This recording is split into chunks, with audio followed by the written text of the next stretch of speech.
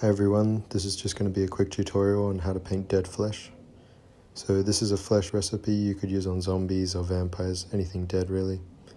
So to start with I'm going to be using Reikland Flesh Shade and you could use something like Bugman's Glow. Um, so what I'm really trying to do with this is just create shadows in the grooves of the muscles. So if you use Bugman's Glow, the flesh will end up darker but it will still have a similar effect. So I'm just going to be applying the Reikland Flesh Shade all over the area.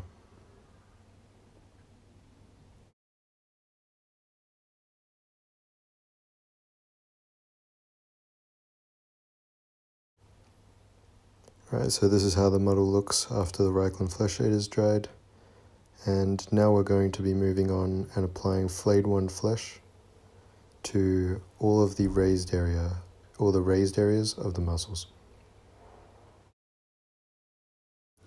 Alright, so now I'm just applying that flayed one flesh. So you can use any color that's sort of similar to this. Doesn't really matter because we're going to be kind of using a glaze over this. So it's going to be hidden pretty well. So I'm just applying it to all those tops of the muscles. You want to leave that that dark Reikland Flesh Shade shadow underneath. Or if you use Bugman's Glow, this is going to be much darker, but should still look similar to how it does here.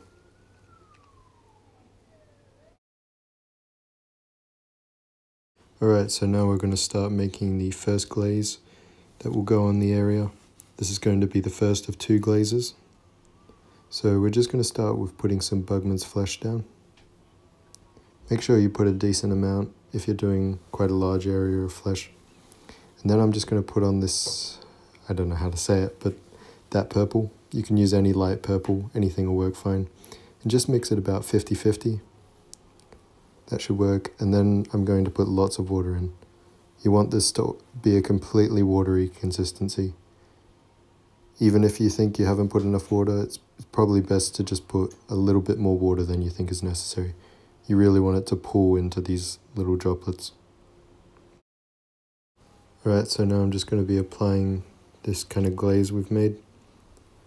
Now I could have even put a little bit more water in here because it's kind of a bit dark on the model, but it doesn't matter if that happens. You know, you can always wipe off the brush and just move that, just move that wash around so you can kind of move it off some of the muscles like I am just try and make it pull towards the grooves but you do want some of the color showing so something like this will do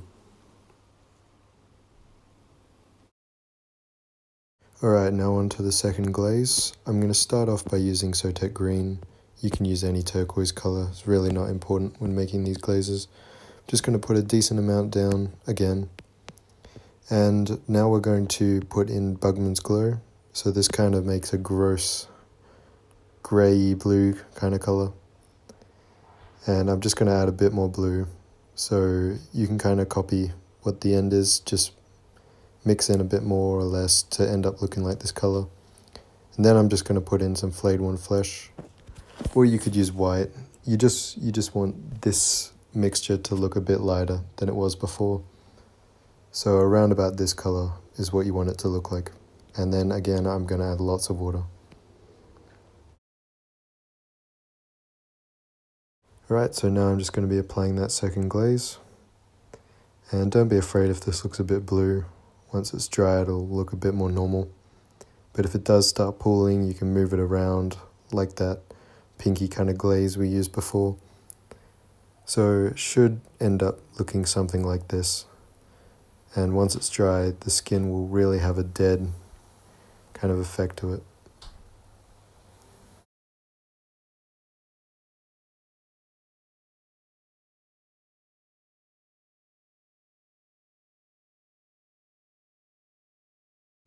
Alright, so now that that wash is dried, you can see we've got a pretty dead effect looking on the skin. So this is a little bit dull, but you could leave it at this, realistically. But if you want, you can go back with some flayed one flesh and just add some highlights to the muscles like I'm going to here. This will make it pop a bit more, but if you're doing something small, you could just leave it at this step.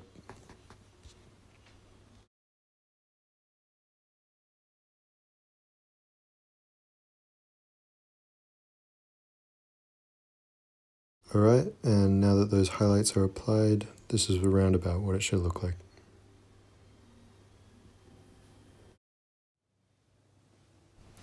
Alright, so I've just gone away and I've done a little bit more of the model, just so you can see more of what this effect can achieve.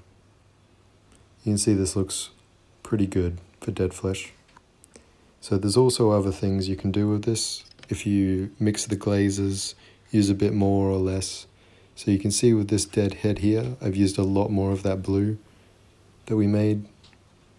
This I've kind of mixed in some more pink with the end the head I've used more flayed one flesh. You can kind of play around with it. So thanks for watching, and I'll see you in the next video.